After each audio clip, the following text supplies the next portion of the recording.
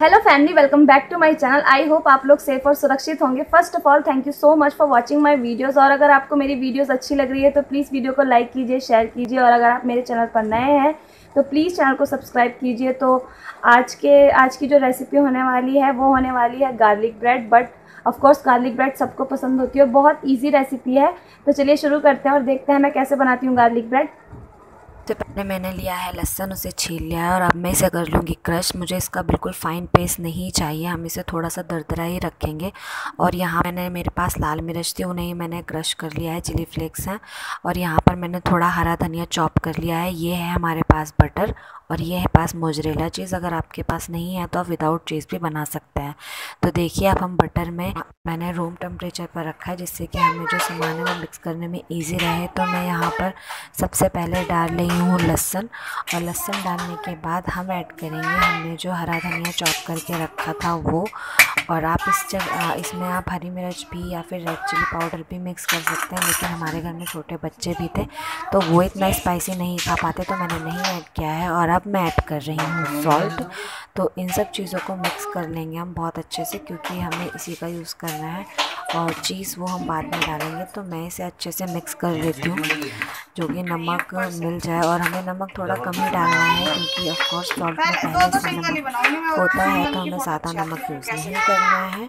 तो बस ये देखिए हमारा मिक्स हो गया है रेडी और अब हम लेंगे ब्रेड मैंने ब्रेड ले लिया और ब्रेड पे जो हमने मिक्स तैयार किया है बटर का, वो मैं अच्छे से स्प्रेड कर दूँगी। और सिर्फ़ एक ही तरफ़ मैं ये मिक्स लगाऊँगी, दूसरी तरफ़ मैं प्लेन ही रखूँगी ऐसे ही। और बस हम इसे तवे पर ऐसे ही रख देंगे, जिस तरफ़ उल्टी तरफ़ से रख देंगे और सीधा हम इसे ऐसे ही रखेंगे। और जो बाकी की बची हुई ब्रेड है, मैं उन पर भी बटर लगा रही हूँ। अब इसके बाद ये देखिए, मैंने इन्हें तवे पर रख दिया है और आपको ये मीडियम फ्लेम पर ही करना है। अगर आप हाई फ्लेम लेंगे तो जो आपकी ब्रेड है, वो जल जाएगी और ऊपर से जो आप चीज़ डालेंगे, वो मैं होगी। तो देखिए, यहाँ पर मैं डाल रही हूँ अब चीज़ और आप को ज़्यादा चीज़ खानी है, आप उसके अकॉर्डिंग ज़्यादा या कम कर सकते हैं जैसे आपके पसंद हो।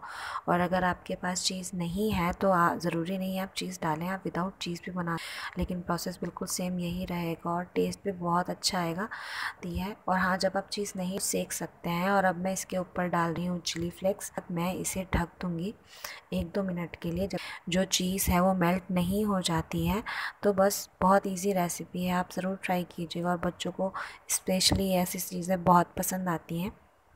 तो चलिए, मैं अब अपनी ब्रेड को ढक देती हूँ और थोड़ी देर बाद देखती हूँ। तो देखिए, मैंने एक दो मिनट के लिए ढक दिया था और अब ये जो चीज़ है, वो बिल्कुल मेल्ट हो गई है। बिल्कुल रेडी है और देखिए कितनी अच्छी लग रही है। अब मैं आपको जो गार्लिक ब्रेड है, ये देखिए तोड़ के दिखाऊँगी। ये देखिए इसकी चीज़ कितने अच्छे से मिल्ट हुई है और कितना अच्छा लग रहा है देखने में। मुझे तो बहुत अच्छा लगा। आप भी ज़रूर ट्राई कीजिएगा। आपको बहुत पसंद आएगा और हमारे घर में बच्चों ने बहुत खुश होकर खाया। ऑफकोर्स बड़ों ने भी खाया ये देखिए।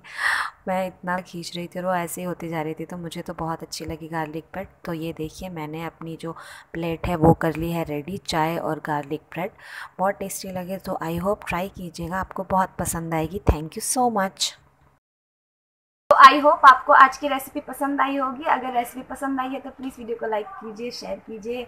और बहुत इजी है, आप इजीली बना सकते हैं। अगर चीज़ नहीं है तो विदाउट चीज़ भी बना सकते हैं, वो भी बहुत टेस्टी लगता है। तो प्लीज़ ट्राई कीजिएगा और मुझे ज़रूर बताइएगा कि आपको मेरी रेसिपी कैसी लगी।